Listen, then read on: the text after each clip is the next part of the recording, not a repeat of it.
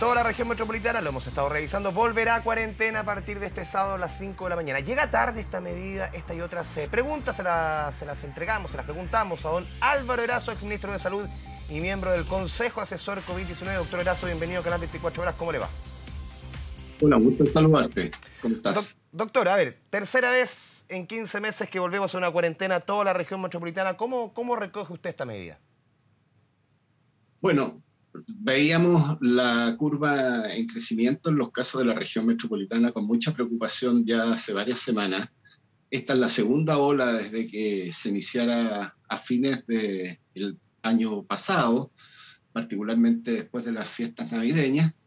Y esta medida, si bien es cierto, no es una medida de la cual eh, hoy día la ciudadanía se pueda sentir satisfecha, porque indudablemente una medida extrema requiere un esfuerzo mayor de, todo punto de vista, digamos, del mm. punto de vista de la salud mental, pero también del punto de vista laboral, de salir a muchas veces la población nuestra trabaja con mucho esfuerzo, con mucho sacrificio, son trabajadores por cuenta propia, trabajadores independientes, microempresas, por ende, es una medida que restringe no solo desde el punto de vista de las libertades, sino también las necesidades de sobrevivencia.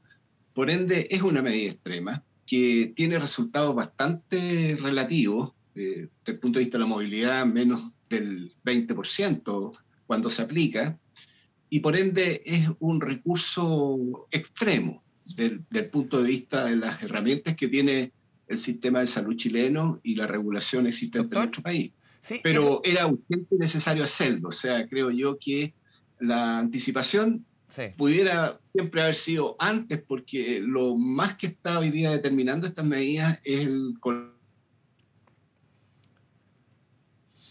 Se nos fue la señal al parecer con el eh, doctor Álvaro Erazo, exministro de Salud y miembro del Consejo Asesor COVID-19. Estamos conversando obviamente respecto a esta decisión de la autoridad de retroceder a cuarentena a partir de este sábado a las 5 de la mañana.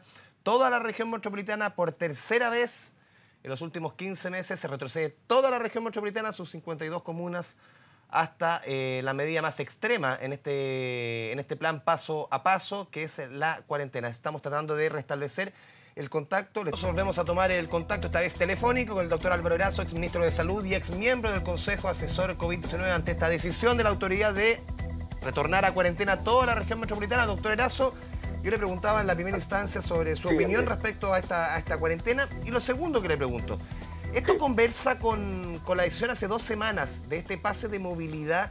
¿Tiene relación con, conversa? Porque en el fondo si vamos a tener, no sé, 8 millones y medio de personas que pudiesen moverse, por lo menos en su, en su comuna, ¿conversa con una medida tan extrema como esta? Bueno, e, e, esa es la, la pregunta y mi opinión es que, tal como lo dijimos como consejo asesor, este, esta liberalización que hubo con, con este permiso eh, claramente tiene un efecto sobre la movilidad. O sea, tenemos el dato de 100.000 personas que salieron de las regiones con estos permisos interregionales y es un estímulo, un incentivo para aumentar los flujos de personas, de movimiento. Basta ver los lugares donde las personas acceden al sistema de transporte público, a los sistemas intermodales, a las estaciones de metro en las mañanas, horas de trabajo.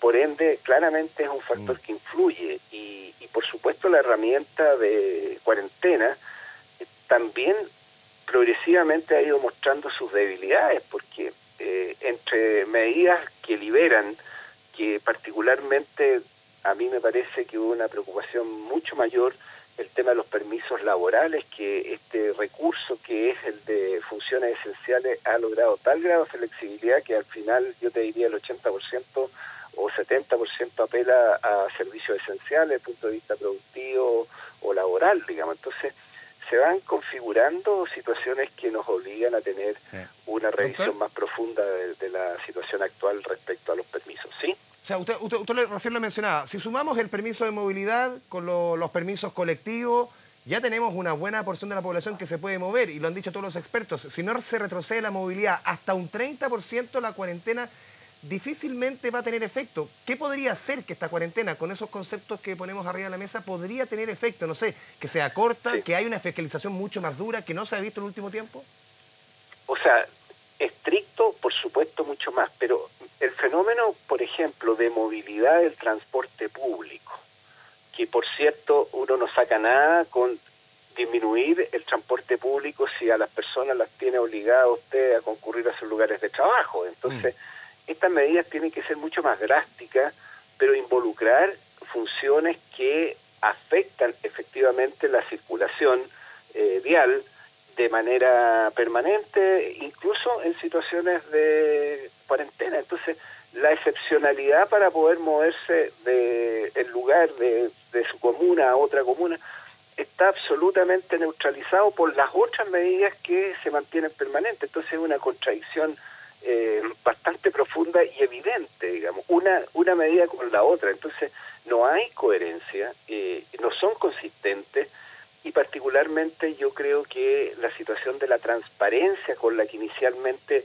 partieron todas estas fases que tenían indicadores sanitarios, por supuesto desde grados porcentajes de hospitalización en camas críticas, los índices de PCR positivos, se fueron paulatinamente concentrando en una mesa que, por cierto, nadie duda que el presidente pueda tener sus propios asesores, pero donde hay otras variables que son desconocidas para el conjunto de los expertos que en estas materias eh, pudieran efectivamente contribuir a, un mejor manejo de, la contingencia. Sí, uno se imagina con todos los datos que usted menciona que ustedes como miembros de esa, de esa mesa los ponen arriba de la mesa esos datos y usted dice, claro, hay otras, hay otras condicionantes que la autoridad finalmente termina tomando decisiones que son distintas.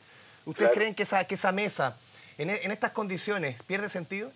No tiene ninguna justificación a mi modo de ver, porque es indudable que el análisis tiene que ser cuantitativo y cualitativo. Nadie niega, digamos, que las opiniones sobre el interés que pueda tener el gobierno central, la moneda, digamos, o los diversos ministerios, tiene que ver con la reactivación de la economía, pero si efectivamente todos los meses vamos a estar o las semanas vamos a estar haciendo colisionar una lógica sanitaria por sobre la lógica ¿Usted económica. va a seguir participando, doctor? O sea, yo de verdad creo que hoy día es momento de revisar cada uno de nosotros si efectivamente esto se justifica. Yo estoy en el Consejo Técnico desde marzo, pero hay por supuesto un planteamiento crítico. Yo personalmente creo que si el gobierno ojalá pueda modificar esta forma de trabajar, no da soluciones, creo que uno finalmente no, no está contribuyendo, digamos, y creo que es una pérdida de tiempo. Doctor, para, para cada uno de nosotros. Sí, esta sensación, lo que usted nos describe, eh, ¿esto se repite en otros miembros del, del, Consejo Asesor, de otros epidemiólogos, otros doctores, los que están ahí en esa misma mesa? Yo hablo por mí. Yo, yo personalmente creo que todos nosotros, yo en particular, creo que hemos hecho un esfuerzo de verdad de colaboración. Siempre ha sido ese nuestro afán.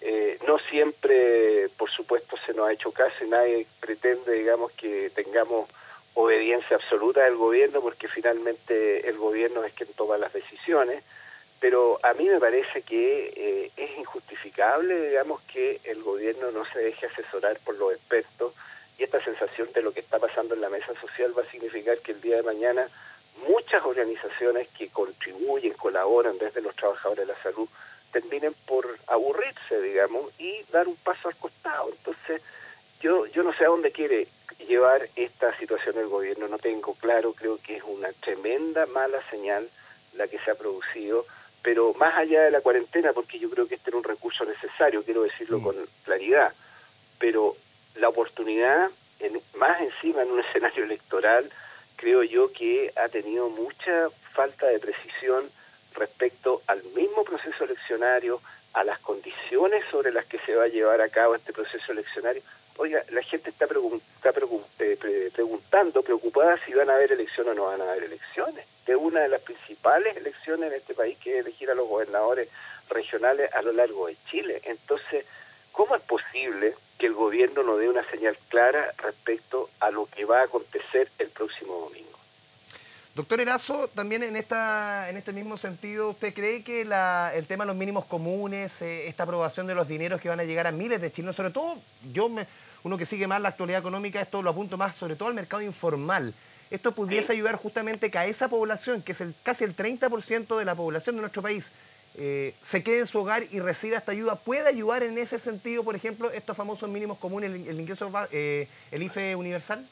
Por supuesto, y ese fue el principio, tal como tú lo dices, siempre el planteamiento fue que este iba a ser una ayuda precisamente para que la gente, las personas, en una condición de emergencia, particularmente de no tener que salir a buscar eh, el sustento diario o, tener que salir a cumplir eh, funciones de venta o comercio pequeña, mediana empresa y microempresa, eh, pudiera permanecer en su domicilio, que es distinto a las personas que tienen contratos en servicios que están más preparados y acondicionan su red de, de logística, digamos, para que los trabajadores puedan desarrollar funciones desde su propio hogar o en funciones que son esenciales, garantizan que efectivamente eso pueda funcionar. Esto debiera ayudar, indudablemente que ayuda en este, en este nivel cansado, porque recordemos los 60 mil pesos del año pasado, mm. donde efectivamente eso era de, de muchas maneras, pero en particular creo que era una vergüenza pensar que con eso la gente iba a incentivarse a quedar en su hogar.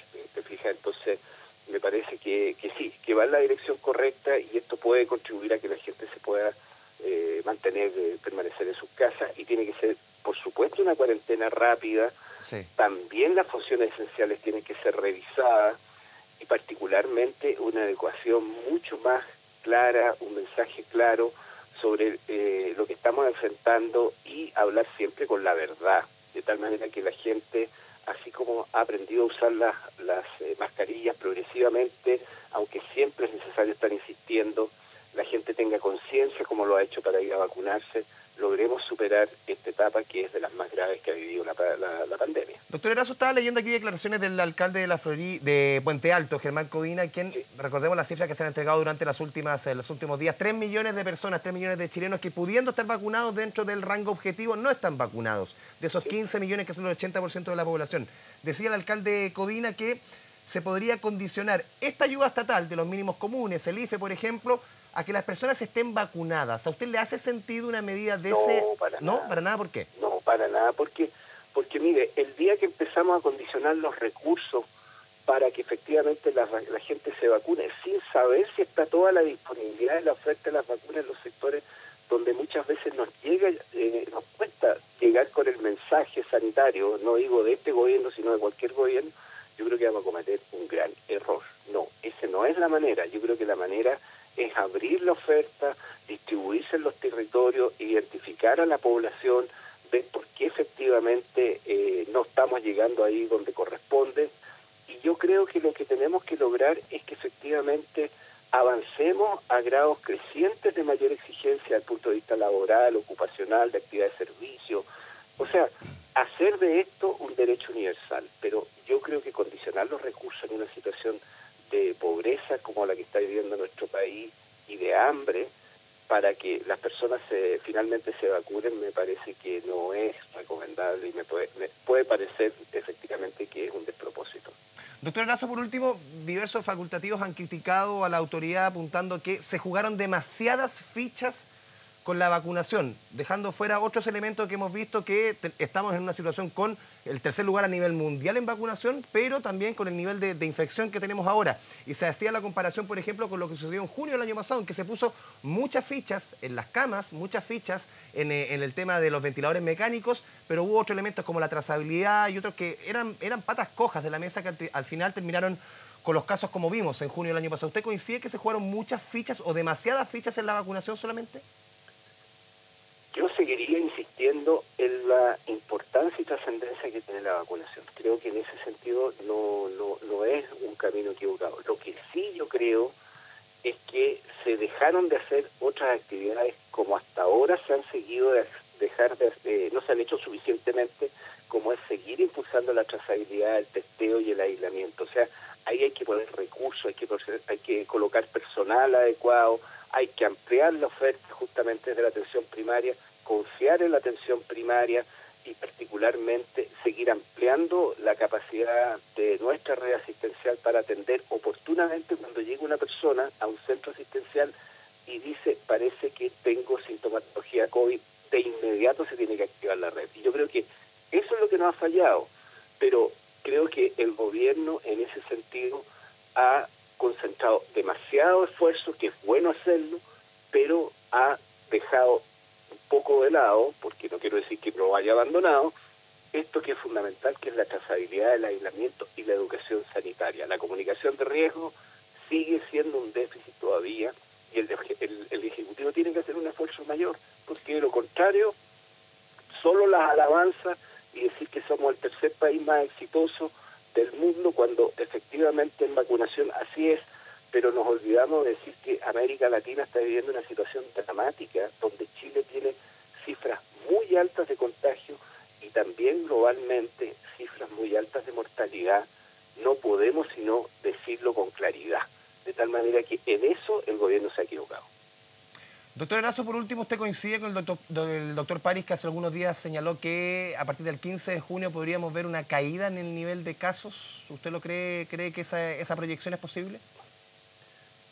Yo no sé cuál es la, evidencia que tiene porque, bueno, hasta este Consejo de la Moneda, que yo me imagino estarán haciendo algunos análisis del Ministerio, no he escuchado ninguna información que es la instancia que yo creo que es la que le corresponde hacer estas proyecciones, pero lo que veo con mucha preocupación es, por supuesto, la presencia de las variantes que en América Latina, sobre todo las, las variantes que están circulando en nuestros países fronterizos, como en Argentina, en son eh, de mucho cuidado porque tienen grados de aceleración y contagiosidad muy altos, muy rápidos. En población joven estamos viendo un crecimiento todavía sostenido de menos de 40 años, son las que están ocupando los lugares eh, en la demanda asistencial en camas críticas. Por esas variables a mí son las que se me preocupan. me preocupan. Yo creo que curva de vacunación tiene un comportamiento, por supuesto, que va en alza, ampliando la cobertura, pero la curva de personas infectadas de menores de 40 años ha seguido en alza, con una leve estabilización. Yo creo que todavía no entramos en una fase de meseta, seguimos con una ola que partió el año pasado a fines de año, que no ha podido ser revertida y por ende yo pondría alerta sobre eso y por supuesto la variable de la vacunación tiene que seguir ampliándose hacia otros segmentos y bienvenido que se pueda ampliar incluso a población infantil, que va a ser otra gran batalla que vamos a tener que dar. Pero no creo que podamos todavía eh, bajar los brazos o estar esperando, digamos, si no tomamos medidas distintas, porque si seguimos aplicando las mismas medidas, estas medidas ya han demostrado que son insuficientes, como lo que comentábamos con las cuarentenas, tenemos que revisar cómo vamos a abordar el tema de la empleabilidad en Chile y en la región metropolitana. Si es cosa de ir a pararse en los paraderos de, de buses mm. en las mañanas, a las seis de la mañana, la gente concurre por cientos de miles a trabajar. Entonces, ¿cuál es la lógica? ¿Volvió toda la gente a trabajar o hay funciones esenciales? Entonces, creo que hay que revisar con mucha mayor acuciosidad aspectos centrales como aquello y también la situación de nuestra población escolar respecto a cuándo efectivamente vamos a garantizar que puedan estar en actividades normales o seminormales con actividad presencial y no presencial. Doctor Álvaro Erazo, le agradecemos este espacio, esta conversación con eh, Canal 24 Horas. Muy buenas tardes. Un gusto saludarte, que esté muy bien. Chao, chao.